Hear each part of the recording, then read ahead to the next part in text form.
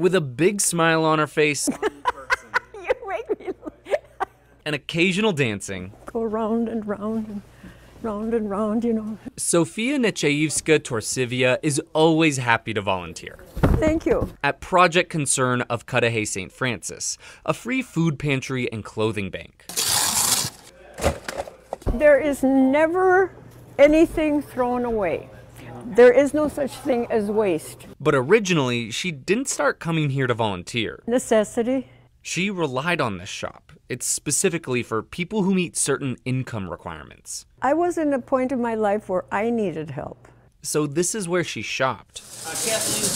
Until she came back one day to volunteer. I not only received help, but I could give in return, which was even better. Now she is one of the 50 volunteers at Project Concern, which isn't easy to do. I have to at times turn people away. I always keep their number in case uh, you know we need them. But yeah, we have a wait list to volunteer here. This is a good problem to have when 400 to 500 families in need are coming through here every month. You want to help me with this young lady's stuff, please? While those volunteers are up to the task, the space beneath Nativity of the Lord Church is too small to accommodate the increase in people coming.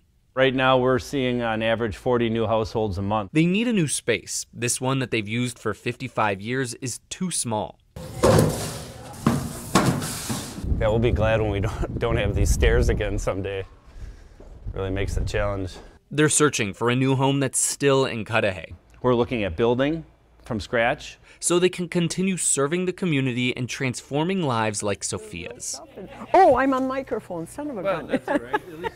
In Cudahy, James Groh, TMJ4 News. I'm sorry. You're good. Ah.